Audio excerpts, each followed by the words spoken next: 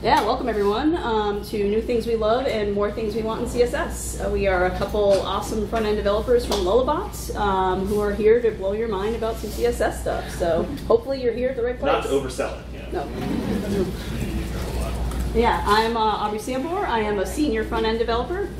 I'm Adam Varn. I'm a front end, just regular front end developer.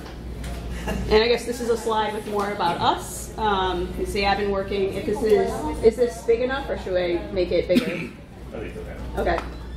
So I've been working with HTML and CSS for about probably over 20 years at this point. Um, I learned I got into CSS when I wanted to remove underlines from my links, which is something you should not do now. But 18-year-old self like wanted to everything to look really nice and pretty. Um, I've been with Drupal since 2009. Um, I love accessibility. I love CSS, obviously. And I live in Western Massachusetts, so it's way, way warmer here than it is at home. So that's really nice. Oh, Yeah, you have to, you have to talk. yeah. Um, I'm Adam Varn. I'm a front end developer at Lullabot. I uh, have been working in Drupal since 2009, um, and I've been a long time uh, Florida Drupal camp. I was used to be hot sauce design development because I worked for myself for about 11 years, um, and then I was fortunate enough to join Lullabot um, full time. I also do a lot of accessibility and like playing around with CSS and CodePens and things like that. Um, I live two hours west of here in Tampa, um, and I'm a co-organizer of Drupal camp with Amy June Hineline and um, Mike Herschel. And I've missed, I've attended every Drupal camp except for two. The very, very first one and the one the year my daughter was born because my she was two months old. My wife's like, "You're not going." I was like, "All right, fair." fair. Uh, you can follow us on Mastodon. We both have kind of sworn off the Evil Bird site now, Yep. so um, we'll have our postings on the slide on the um, slides we post on the website if you want to follow us and say hi. There is a just a quick plug for Mastodon. There's a Drupal community Mastodon, so if you're interested in joining Mastodon, checking it out, Drupal.community, you can join other cool Drupal people there. So anyway, Yep. All right. so we're here to talk about some new CSS. Um, so these are some of the things we're going to talk about. Um, we're going to go over container queries. We're going to go over an oldie but goodie, not, um, has, is, where, line clamp, the layers, and CSS logical properties. Um, has is still not supported in Firefox yet. Very soon, very yes. soon. Hopefully, hopefully, like within the next like couple months, that will finally be supported, so you can use all the goodness that I'm going to talk about with has. Um, and also, this is major browsers meaning not IE11 yeah, everything else everything else is supported except for IE11 because who cares about IE11 anymore, Yeah. unless you have to. yeah, I have to still. So Yeah. yeah, it's kind of a bummer. Anyway, um, and also we're going to talk about more things we want. Um, these are things that are maybe supported in a couple browsers, but not all of them, or things that are in like spec, like there's like what W3C specs or stuff Yeah. like that for them. So all these ones will also be really cool. Um, I don't think we're going to talk about container style. I think that's one that we might touch on when we're going over like container queries, but um, that one we're not going to talk a lot about. I don't think. We made like a million edits to that and I just realized we left that in there without my Yep, mistake. exactly. Yeah. Yep. That's what happens. All right. So we're going to start off with uh, logical properties. Yes. So CSS logical properties or directions. We don't need no stinking directions. Um, so CSS logical properties have been around since supported since roughly 2017 um, in every browser. So what it does is instead of doing padding left, padding right, margin top, margin bottom, you replace the the directionals with um, block or inline. So if it's a vertical, it would be padding block start for padding left. If it's if it's um, you know a margin, it would be padding inline end for margin right. Um, and it applies to sizing, margins, padding. Floats is only supported right now in Firefox um, for some reason, and then positioning and border. So like position like top, bottom, left, right. Um, and it's useful basically for direction and for writing mode if you're dealing with sites that have multiple languages like RTL languages, that sort of thing. Um, to give some kind of examples, hopefully everybody can see this. So this is like the logical properties work the exact same way as the regular properties that you might be familiar with. So top becomes inset block start, width becomes width, or width becomes inline size, height becomes block size, and then max width will be max inline size, max block size. So inline is, is horizontal, block is vertical. Um, and this is kind of just, I won't go through every single one, but you're basically replacing, um, yeah, you're basically making the, replacing the, the directional orientation with block or inline for depending on what the situation is. So if you wanted to do the bottom, we'd be padding block end. If you wanted to do the right side, it'd be padding inline end, and then left would be left is start, right is end, bottom is end, top is start. Not confusing at all. It, it's one of these things where it takes a little bit to get used to it, but once you start do, writing things this way, it becomes a lot more, um, a lot easier to remember. So why do they? Why do the properties matter? So for languages other than English, it's very important to have um, to have that directional thing because if you're using a writing mode RTL, and I'll show this in a co- CodePen demo in a second, um, but it makes it so that it, you have to basically redo a lot of your CSS for your padding and your margins if it's the wrong, if it's not using the inline. The inline and the block will adjust to the browser's mode, basically. Simplifies. Yeah, um, and I threw the Bluey GIF in here for any parents who have young kids because Bluey's awesome. Um, it's an agnostic terminology, so again, you don't have to worry about left, right. So it, it's it's just a simple terminology that you can use across all these different um, styles. And like I said, it works the exact same way as non-logical properties. So if you start using logical properties, your future self will thank you because if you have to make changes later on, it's you don't have to go back and redo your work. So, show a little demo real quick. Oh boy, I have to blow this up a lot. Yeah. Okay. I figured we'd have to do that. So, the the left side uses regular non-logical properties, and this this side uses the logical properties. So the styling is the exact same, but what happens is if you change if you change the direction of the text, for instance, from LTR to RTL, notice how your margin on the it flips. Like it, your margin stays over here, but it flips if you change the side. That can cause you know all you're doing. You, you had to if you had a whole site built in one way with a sidebar, it would all change, and your margins would be totally off. You have to go back and fix it, or you have to basically duplicate your CSS to say you know for in direction RTL, then do it you know margin on the right. If it's you know a regular uh, LTR, then do margin on the left. Same thing also if you have um, if you're working with Asian languages such as Japanese or some Chinese, I think. Um, if you if it's the, that languages are written vertically sometimes. So again, this can mess up how things are read are read. More importantly, it's really just an, a, a way to make your code agnostic and flexible for any situation, as opposed to having to worry about adjusting something later on for not even for yourself, but also for other developers behind you. So, um, all right, how do I get back to? I'll go back to ARC, yeah. There you go. And then Sorry, click over here and click on. Aubrey's using the fancy Arc browser. Yeah. She got an invite. There we go. I can, I can send you. Do, do, no, I, I'm, I'm kidding. Yeah. Yeah. All right, where did the presentation go? Hmm. What are you doing? There it is. Yeah, there it is. Now let me. Uh, there we go. All right, perfect.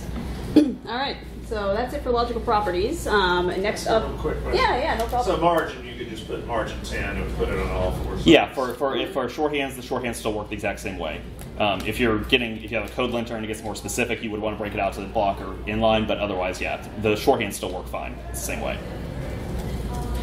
All right, so next up is container queries, which is something that I've been looking forward to for a long time, and I'm super happy that it's now finally supported everywhere. I think Firefox just got it in on February 14th, so uh, yeah, it's the 18th now. Yeah, last minute update to slides. Yep, yep, exactly. Your uh, my last minute stuff. But yeah, um, container queries are, I think, going to replace media queries everywhere um, because it's a lot. It makes a lot more sense to use them. Um, so yeah, they're a way to isolate parts of the page and declare to the browser these parts that are independent from the rest of the page. Um, and the way you do them is you uh, you define them with container type and container name properties. Oh, thank you. Um, and you need to have both of these. You need to have both of these for Yeah. containers. Yeah. Um, so the first thing you define is the container type. There are really two different types.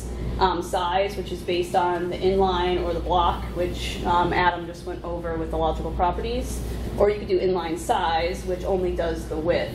I think for the most part, people are just using inline size because container queries are usually wanting more the width of the um, width of the element. Um, and then you have to, you, I don't think you necessarily need to have a container name, but it's really nice to have one so you can specify it later. So, yeah.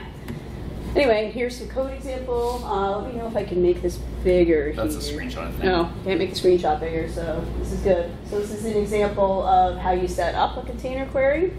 Um, as you can see, there's a the main container of layout container that has both the container type, the inline size, and it has the container name of desktop container. So pretty straightforward.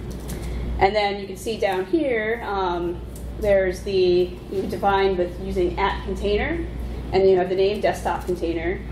And this is everything that's 768px or bigger is going to have a different width. Um, by default, the width is 33.33%, but when it's bigger, the width will be 50%. So like a media query, but Yeah. there's more flexibility with it. Yep, yeah, it's just with the container and not on the view on the entire viewport. And here is a demo that. ooh, Yeah, and, and that's very important once you learn the demo. Yeah. So you're, you're not affecting the entire viewport, you're only affecting this element in that, the elements defined in that container. So you're not changing the whole page for responsive design, you're just changing part of it for this scenario. So if you have a sidebar, for instance, that's um, you want it to be a different width or something like that as, as, it, as the page gets wider without changing the whole width of the whole page. So you're, you're basically breaking out your responsive design Yep. into, con, into components, like containers, basically. Yeah, and this is an example um, with some pretty kitties, um, and you can see when I resize the page here. Oops, that's not how I resize the page. This is how I resize the page. Um, you can see that as the page gets resized, this one on the left here um, will be coming a little more narrow, and um, that's great. Uh, Oh, and then, good, then, sorry. yeah, yeah, no worries. And then the other one, when you make it bigger, it'll get wider. Like if I make it bigger here, maybe my thing is not big enough to do it. Oh, I mean, there we go. Yeah, so this one on the right gets wider when you make it bigger, and the one on the left gets more narrow when you make it smaller. So we're not changing the structure of the page here. We're just changing the element of the page, so it gets into a different size. And we'll have we have links in all the slides to this, so you can go and mess and look at our our bad code and then play around with it. Um, yeah. Yep. This is weird that every time I go back to the slides, it turns into a black screen. That's good times. At least you can get back to it. That's all that matters. Yeah, I just need to figure out how to get back to it. Escape. Yeah, I've been doing that. Sorry about the technical difficulties. It's only because we're presenting live. That's why. Yeah, that's always how it goes. Yeah. All right, what's going on here? Where's the recirculate button? Why Browser. will it not work? Let's see. Sorry about this. I'm gonna blame it on Arc. That's the thing. You have any ideas? What, what if you just go to Reload the? it. Yeah. What if you just refresh? Yeah. Oh, refresh is right there. Yeah. Nope. Oh, it says well, it says waiting for Google. Oh, is there? Are we running into some Do you not like have? Yeah, oh, I don't think we got full signal. saturation. Wi-Fi fail? Who's downloading movies? Come on. Stop streaming Netflix.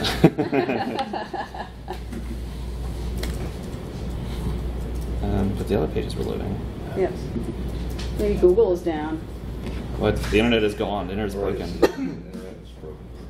Hey, note self. Save offline. So wait, switch to tab. Maybe just do it in a new browser Yeah, I might be doing for that. the slides. Yeah. Yeah, let's do uh, Firefox. I've got it open over there.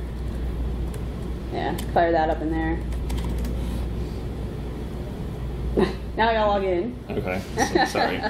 Sorry, live coding. It's always fun. How's everyone enjoying Drupal camp?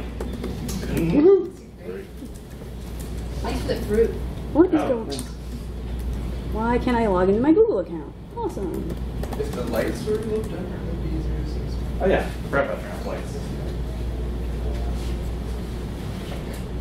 Ooh, it's dark in here now. Alright, I don't know why my stuff is not working. Adam, we might be using your computer. All Sorry. right. Well, um, let's see. I gotta find plug to get the HDMI. Yeah, it's right here. Adam log in to Google. Yeah, see, I can't. Oh, yeah, you can log into. Yeah, but I have a you- super long password. I don't. Yeah, have- same. You don't know. It says it can't find my Google account. Is this your Lullabot one, or did you make what account did you make it under? Let's see. It looks like your Lullabot It's my Lullabot account, yeah. Oh, I put the wrong email address in. Sorry, guys. We are all trained web professionals here. It's go. okay. Yeah. All right. Putting in the right email is what's important. All right. All right. Oh my God, really? All right. I wanted to be secure. yeah. That's. Uh, Now I have to try another way because I don't have the Google thing. Uh, there. All right. Well, this is good times. All right. It is important to back to have two uh, two-factor authentication where you can. Hey, we're back. All right. Hopefully this one doesn't mess up. All right. So where were we? We were in container queries. All right. So I think I had just gone over all of this. I think we had I had opened the CodePen demo, and now we're done with container queries. Does anybody have any questions about container queries? Should we go over it to like go over it again to uh, refresh your mind after the awesome technical difficulties?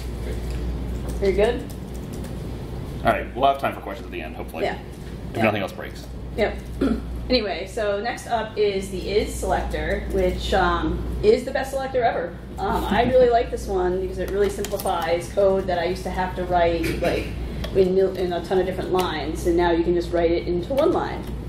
Um, so is is it's like I just said, it's useful for simplifying to a single line. Um, it does this weird thing called uh, called taking on the specificity of its most specific selector. And I have an example. No, I don't have an example in here, so that's Oh, also well, I think it's on the demo, but yeah. Yeah. You can just explain.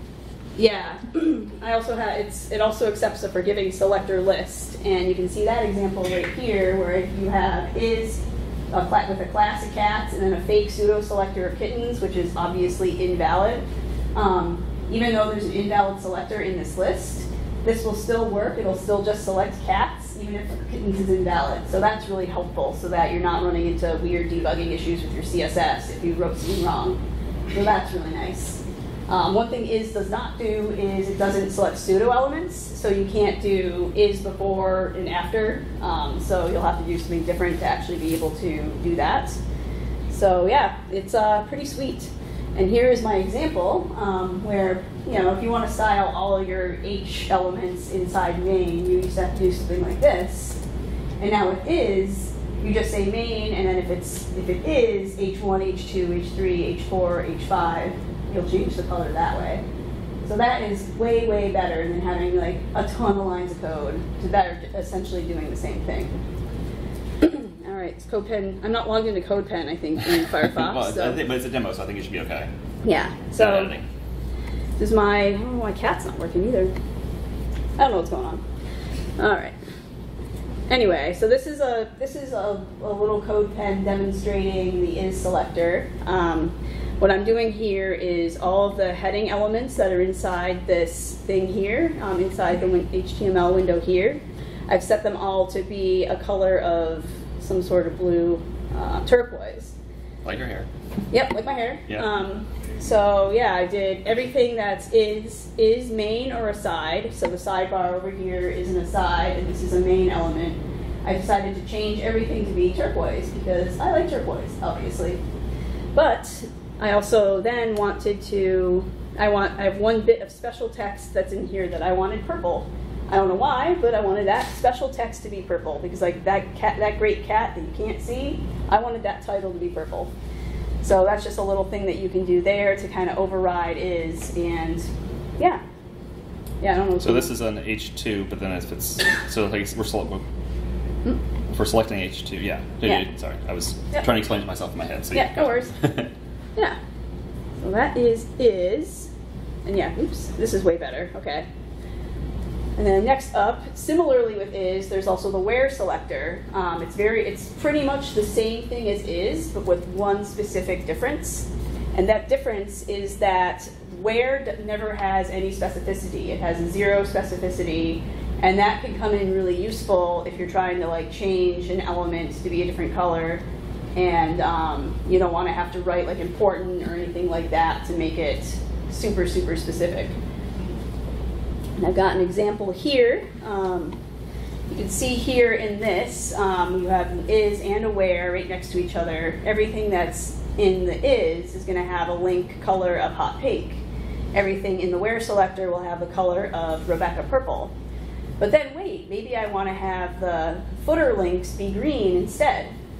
So the difference here between is and where is that in this CodePen demo, um, you'll see that I have these two is and wheres. And with is, since the specificity of the is selector has like a specificity, this footer A that I have defined down here, all the way down here, this yellow green, it will not get applied to the is selectors, but it will get applied to the where because the where has no specificity, so this footer A will win over the purple that I have in the where links. So that's like a good that's a good use case for using where over is. I feel like is is probably used a little more than where, but it's good to have this like under your belt too when you need to do something like this. Any questions on is or where? What happens if where is competing against uh, Shaman import? Um, with important, since important has more specificity, that will the important will win there. Yeah. Yeah. All right. All right. You're up. Not. Where's that? Is it up now? I think it. I don't know where has. That was Oh, after this. Okay, alright. take a break. Give you a break. It's not, or if not, just another boring selector. So, not has been around for a while. You may or may not have used it. Um, it's been supported since not IE9, um, but it's probably not supported by IE11 for some strange reason. Um, so, a select argument list, yeah, it's not supported by IE. So, again, not and cats and kittens be written as not dot cats and not dot kittens. You have to chain together. I wouldn't pick up the the comment Yep. to the selector list.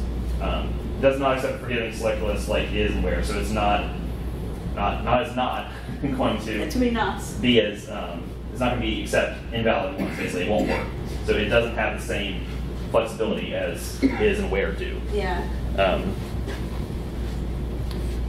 so, the most, the probably the most common example you'll see with this is for like list items. Like you have, you want instead you last child, but it's you want to give all of your LIs a certain um, margin at the bottom, and you want last child to be margin bottom, but then you don't want the anything that's not last child to be margin bottom. So, like, here we go. Here's a fun list. Hey, it's here's another here's another list. Here's even more fun list. Why is it more fun? Because there's no margin at the bottom. So what we did was and is right here you can see that if it's not the last child li element, it doesn't have a mar- it has a margin bottom. But this last one in this um, right hand list, which is the list with not class, this has a this has a margin bottom, but this one does not.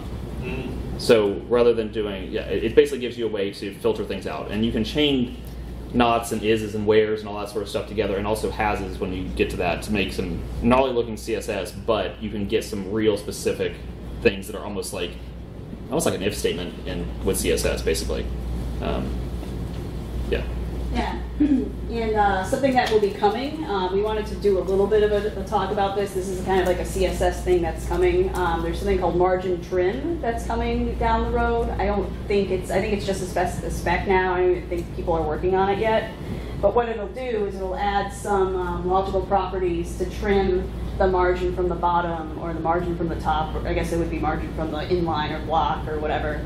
Um, so you'll be able to use that instead of using this uh, li not last child to actually get rid of the margin on the bottom or wherever. So want you know if you're if you're making a view and you don't want the last view to have a border bottom because it's the end of the page, Yeah. you could you'll with the margin trim or the padding, yeah, margin trim, you'll be able to trim that so it's shorter, um, make it easier as opposed to having to write this extra stuff. All right, time for some has, which is, I guess I said container queries was my favorite. I think has is actually my favorite. The only problem is it's not supported in Firefox. So you might run into some problems with some of my, my examples Oh Firefox yes, fun. now. Okay. Yep. We can open up and we can just copy over to the. Yeah, yeah, that's what I'll one. do. Yeah, so anyway, um, as most people know about has, um, it allows the ability to, to select an element's parent and actually like style that depending on what the children are. And that has been something I have wanted in CSS for so long, and I'm so happy that it's everywhere but Firefox. Come on, Firefox. Stop working on the focus uh, or the float on um, inline, the Yeah. logical properties, and start working on has. Um, and uh, as you can see, like my little example here is if you do div has image, it'll select all the divs that have an image in it, which I feel like is a really common use case that most people are using when they're styling pages, especially home pages.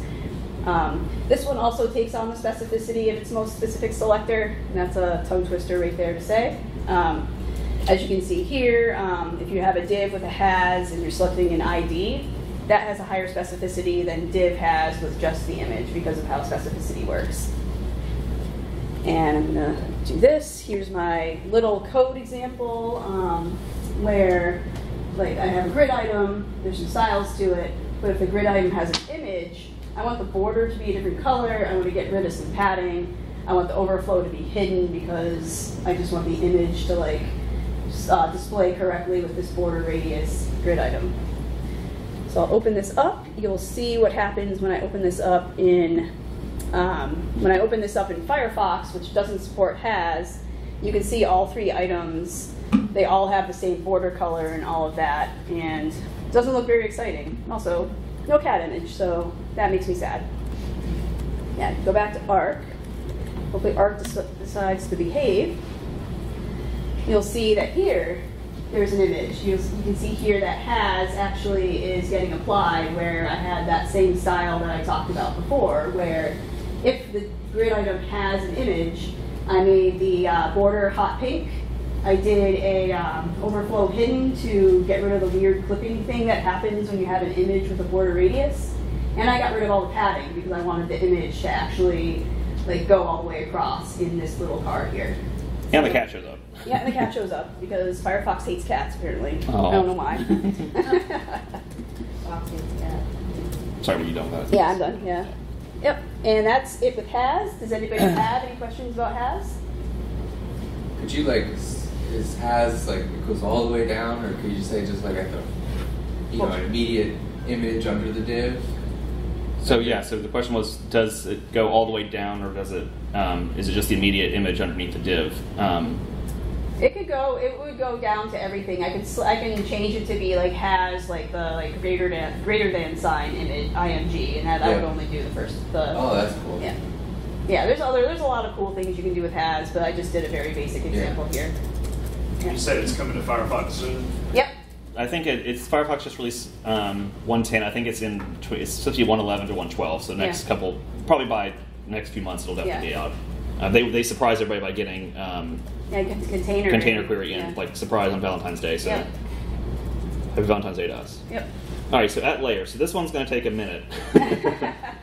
All right, so layer allows you to set styling no matter where it is in the CSS cascade. So it works with either agnostic, you can just call it at layer, or you can name it like at layer toolbar. Um, and it can be import, and layers can also be imported from other files. Um, and this is supported in all browsers.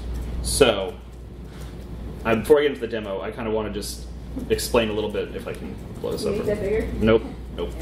Um, the way to kind of think about layer is the use the use cases for it because you're like okay so what's the why would I need to move stuff around in the in the cascade? Because CSS is one of the only languages that has the cascade is important for like where it is the JavaScript you can jump around you can do other things. CSS it has to stay that structure but that's all implied basically on the assumption that everything has to flow that way. That's our that's when you go into writing CSS you have that assumption that's going to happen. But with with um, layers, what you're doing is basically making layers inside of the cascade itself to stack them and move them where you want. So what you're doing is essentially like a use like a use case would be like a reset file. So if you had a reset of things, you could create a layer of just the reset, and you could put that in your files wherever you want to by importing it, or you could have everything at the top. Um, you could use it to make basically one. I guess probably the simplest way I could explain is to make. If you're familiar with writing Sass, you can import a Sass file. You know, you write your mixins over here, you import that into all your files with layer you can do that that this natively in css because you can import things from another file and you can import say you have my files here my you know my my layers here and you can import just from that one file just a specific layer and so you can call all this natively with css without any preprocessors so you can structure it and the way that the flow works which i'll show in the code demo is you try to define these at the top. Um, you know, it's best practice to put your, your layers at the top if need be. But the, the order of this, your calling of the layers, supersedes anything else in the cascade. So you can have secondary content here, but have it above here. So you would think it would cover over the main, it would override the main content. But it doesn't because in this listing, I've reordered inside the cascade itself how things are, are flowing. All right. Let me I know- follow this up. Anybody have any? Does that make sense so far? So, uh, like, if say I have like 50 CSS style sheets on my page that don't have aggregate aggregate CSS on or something, and I can't control the order, is this like to help that? Like, the, Yes. So the question is, is if you have a bunch of style sheets and you can't control the order, so you can't it, it's not going to control your order of the actual files themselves in the way the browser renders. But if you have everything in the style sheet, like if you're just importing a bunch of stuff to the style sheet, you can move them around as need be, or import them only when needed because you can call things. I, I'll, I'll get into CodePen now because I think it's a little easier. Yeah, I was gonna just fire it up for you. Oh, thank you. Yep. Um, so, let me get to where I'm at. So layers would be anonymous with no names, like I was saying, you can call them the name specifically. Um, the order declaration of layers determines the order in which they render in the precedence. So below, basically right right here, this I just find this order here, secondary content and main content. So even though these are lower in the, even though main content is lower in normal CSS, it would control the rend, you would control the render, and anything in main content would be first, or would get rendered, you know, after secondary content. But because I'm controlling it with layers by restructuring it, they change. So, um, like if I change this right now, whoops, to Yeah, reversing the two. main content, reverse it. Now it's it's reversed, so it's you know red or purple. Be and even though so that in that case the the, the cascade how you have the information in the file matches what the um, document's rendering. But then if I reverse it, then it goes back to here. Um, layers could honestly be an entire talk by Yeah. itself. Um, like I said, the use cases are for cutting down on your code in the sense that like if you have for really complex css projects things where you have a lot of different people working together a lot of different elements you're basically making like components that you can reuse in CSS, like almost like a web component that you can use in CSS. so You can call those files directly without having any preprocessor needed. So you can say, you know, if Bob's working over here on the directory page and Sally's over here working on the events page, they can both call the same CSS file in their code without overriding each other and have it imported through the layers um, and then structure where they need it. Or you can have a main layer list of all the different elements on a page and they can just pick and choose which layers they want to import into their file. So you're reusing the CSS without having to use any preprocessors, and it's it's useful for um, basically like like I said, large projects or just changing the order. Yeah, you- having more fine grained control over your cascade too is really is a really good use case for layers as well. And getting to the question about important, the specificity also gets kind of crazy with layers. Important can reverse it if you're if you're using it inside of it. Like normally the layer, like even if I was to put um, main content red, like you would think this is important, it's gonna it's going to um, supersede it. It does because it's it's right here. So this so this can break the cascade by putting important inside of it. So important still can reverse basically the layer order. So you still See, I try to avoid using important in layers. Well, yeah, you it, try- it just breaks your brain. Yeah. it's so weird. Yeah. yeah. Um, like I said, there's a lot we could really really get into on layer. Does that all make sense? What I'm kind of kind of explaining? Yeah. I'm sorry, this may be a stupid question. No, it's okay. We're- Where are you getting layer secondary content? Is that a class or ID? That's that's a, it's a layer name. It's specific to this this here. So I'm calling the um, so I'm listing my layers, and like I said, you want to try to make your list of layers higher up in the in the document if you can. I mean, you can do it technically wherever, but this is the master list of what layers order render and which layers order in what order. So Oh, so I'm I, these are the this is the list, and then I'm naming the, I'm calling these in here. And where it gets even more interesting because is that you can get you can also nest layers inside of each other. So you can import a layer inside of another layer. Should have put an Inception GIF in here. Yeah. so the layer names aren't actually defined in the HTML. no, you're setting it through this. You're setting it in your CSS document. Yes, you're setting the layer. na- This question was you're setting the layer names are not set in the HTML. They're, they're, they're not classes. They're set through the CSS document. Um, Thank you. And then you can also use. I'm I'm repeating your question just for the microphone, so Oh. so they can hear it. um, and you can, and then you can call if um, just parts of other layers as well. So we're in, so you nest layers inside of each other, but you can also um, call them with basically the outer name and then the inner name. So if I wanted to call sidebar inner, it would be. Um, oh, this may have been a typo. um, but yeah, those are the those are the, you you can call the names like like that, and then you also make a separate file. Um, so you could do import, which is a CSS. That's about that's been around CSS and HTML for a long time. But you can add this layer part at the end. So if I had a file called mythemefile.css, and then I had a layer in it called the layer I want by name, all this this would import just that one layer from that one file into your CSS file. So you could send again have your have your reset and then say, okay, I just need a reset for mobile, or I need a style for this block, and you can just call that one particular part of that one particular CSS file and import it directly in through the layer function, as long as you define it as a layer in your CSS file. Yeah. That's how I feel every time I think of layers. I'm like, all right. it's not it's not an every stuff. yeah it's not an everyday uh, use, but it does have gives CSS a lot more flexibility without having to have a preprocessor or any sort of weird JavaScript or anything else to make it work. Line clamp. This is my one of my all-time favorite ones. you may or may not have heard of it. Um, it used to be called. It still works technically as dash WebKit dash line clamp. So a line clamp is a way to trim amount of text without adjusting too much, to have the browser trim the text for you. Um, like you would do, like in views, like you would do, you know, maximum characters. You can trim by lines of text with line clamp. Um, it shortens text to a specified line limit with an ellipses at the end. Um, and line clamp also works. It's meant to replace WebKit line clamp. So originally this was a Chrome functionality and feature, but then Firefox basically decided to, to support it. So you can you can this would actually just work fine in Firefox, even though it's WebKit um, and Safari, Chrome, and Edge, and everything else.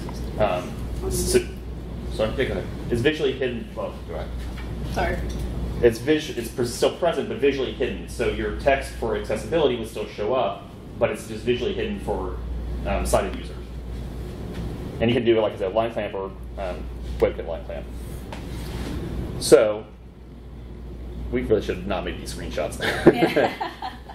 so it says the um, the way it works is you have to have display WebKit box for the text, which is, is still basically a block element. Um, WebKit box orient vertical, and WebKit line clamp, and then your number of how many lines you want to show, and then you do overflow hidden. So you don't have to specify height, you don't have to do anything like that. You just do hidden to hide it, and this these four chunks of code will make you a nice box that if it, the text goes past it, it'll just give you little ellipses. So if you're making a long, um, you know, but- So this is better for uh, uh, resizing to uh, your yes, it is. But it- device as opposed to say 180 characters or whatever. Yeah, it's useful for dev- resizing for a device, and also for the question was, is it useful for? Responsive. Yeah, for responsive. So, right here, I've got the part of the um, Gettysburg Address. Gettysburg Address. Thank you. and so I'm saying on the fourth, um, or sorry, the third paragraph, make these make trim it down to three lines. Okay, so well, I want to make it down to five lines, and then I change that, and now I get five lines, but I still get my ellipses at the bottom. Or I only want it to be, I just want to make all of the paragraphs have three lines. Oh, that's not going to work. Sorry. I don't think you want to do that. Live coding. Heads. So it trims it. So this this first paragraph is short enough, but then these are longer, so it just trims them all automatically. So you can use this for any browser, all mobile, everything. It works great to show different to trim the text down. So again, if you have like a a view and you're outputting someone's biography and you don't want to trim the characters, you can just use line clamp to trim the characters down without having to go into views and adjust it to tie to Drupal. The things that we still want. All right. We've got five minutes, so. Oh, okay. Yeah, gotta. We'll- we'll breeze through these. Yeah, we're gonna pound through these. I think you're doing this one, right? Oh yeah. Yeah. Sorry. Um, and, and we can keep going. I mean, if you guys want to hang out till you know, if you're not hungry, stick around. If you don't um, want tacos. Yeah. These are things that are thing we say things we still want. These are things that are either in development, or someone's come up with this brilliant idea and they should be. It should be in development, or it's just a complete pipe dream for right now. So, um, text wrap balance. So this makes a lot of sense if you think about it. You have text wrap, um, you know, overflow and all that sort of stuff. What if we could just make the text go to the right amount of lines and then stop and do that each line is equal instead of some sort of weird like this. So this is really long text and very uneven, but what if we just did it so they can all wrap evenly? Wouldn't that be great? That is actually sort of being worked on right now, but it's it's it's still a ways off. Maybe next year. Fingers crossed. And this was this is a big one that is implemented in most browser, not most, but impl- implemented in a couple of browsers, but not Chromium yet. Is Subgrid? Yeah, no worries. I figured that was going to happen. Um, So subgrid is really nice um, as part of the grid specification. I kind of wish that subgrid had been released at the same time as grid because this is very useful for if you want all your items within a grid item to also be part of that same grid that it belongs to. And it might be confusing, but it's pretty easy to implement. Um, you just have to add a display grid to your grid item, and then for your grid template columns or rows, you just add the grid, you, you set it to be subgrid.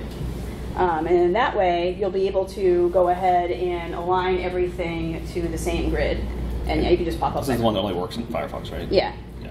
So this is subgrid. Um, we, since we're using Firefox now to show it, I have a supports that's telling me that yes, this browser supports subgrid.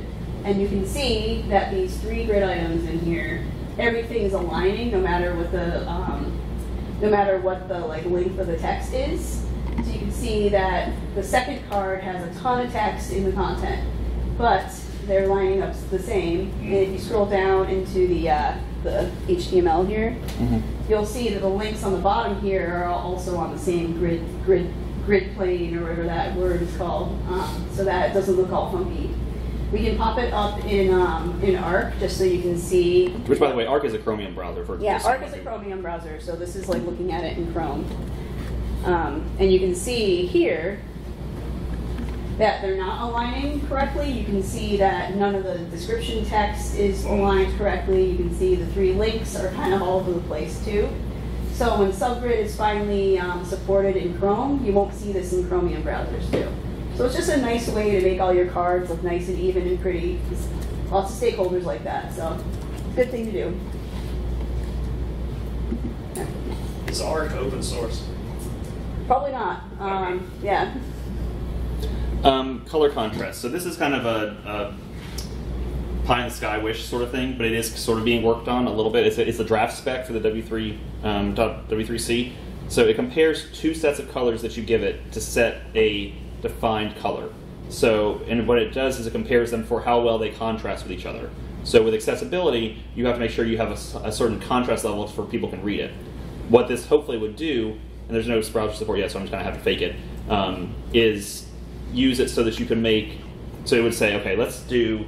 We would compare these two colors, four two, and then five eight, and then against this color. So these would be the two colors. Like you would provide two colors that you wanted to use. Like which one would work better here. So this would be like a light and dark mode, and then it would compare against this color, and then the browser would pick the one that has the better contrast. So it would show automatically without having to go in manually and do all this checking for accessibility to make sure it would work. Um, and it would automatically set a color or background color property, for example, to how it would work. And this one's not anywhere, right? No, This it's, it's a thought, idea. it's an idea, but it's not not in Yeah. browser yet. So who knows if it'll ever happen? But Yeah. and Yeah. Last one. This is one that grinds my gears a lot. Is why can't we write comments like this? How come we have to do them this way? why do we have to have asterisks? Why? Yeah. Why is there asterisks? Why can't I just do this? And we, I put a few other links to other places that are talking about CSS. Um, in the, in, I was going to say the blogosphere, but that's a super old term. um, there's been a lot of discussion about what people want in CSS in 2023. So especially this last link down here is a compilation of all these um, all these blog posts. It's really interesting to see what people really want in CSS. We, we personally think that they saw the article that we wrote and they said, oh, well, I got to make an article like this. It's, it's not as cool as Aubrey and Adams. Yeah, so, that's you right. know. Yeah, that's right. And then the other ones are like there's there's cool new viewport units. Um, Line height units, yeah. Yeah, I touched on uh, margin trim, and then there's also style queries, which is instead of using um, a, min- a width inside to select container queries, you can use um, CSS custom properties to do that instead. Um, I can't remember where that is supported and if it's supported everywhere, but that's also a really cool thing to be able to do. Yeah. And Ta-da. that's it. Any questions? Uh, you said you could put a link up for everything. Yeah, we'll put we'll, we'll put the slides, the whole presentation up on the on the um, Website. website. It's- we'll do that soon. Yeah. Yeah. Any questions? Anybody? Yes. This is in regards to the layer that we discussed, the layer component. Yes. So, uh, the question is that when we talk about page optimization, I'm just giving a background information. Yeah. If we have too many CSS files, then the speed of the page becomes really slow, or it affects the load of the, the, the loading speed of the website. So if we make use of layer are we still uh, loading the complete CSS file? So for example, I have certain components on the home page for which I have written a ton of CSS, but it is not applicable for the inner pages. Correct. Okay, so uh, means so I how to uh, if I use layer to import certain components from the home page CSS, does it does it bring the does it load the complete CSS? Does it also bring the CSS that is specific for the home page? Okay, so the question is, does using um, layer cut down on the amount of CSS loaded on a page? It, I guess the scenario is maybe. it doesn't have anything to do with browser requests, but if you have, it, it might be a, a trade-off because if your homepage has loads, you know, homepage style.css, but your other site loads, you know, site style.css. If one file is smaller, it could cut down on your size. So if you have all this homepage style and you're only loading that one style on that one page, then that would be um, you wouldn't have to load all the other site styles. So you could use yeah you could use layers to import elements from different style things. Like you, you would you have to basically you have to make more individual CSS files, but those files could be would may end up being smaller per page than your overall just having one main one for your whole site. Does that make sense? Because the browser is smart enough to only render what it's called on the page, but it would still it's it's not going to be layer isn't going to necessarily solve network requests for things. It's just going to help. You can make the file smaller and also just reuse your code without having to use a preprocessor to like Sass to do that. Okay, makes sense. Yeah. Any other questions? Good well, thank. Thank you. Thanks. Go have tacos. They're great.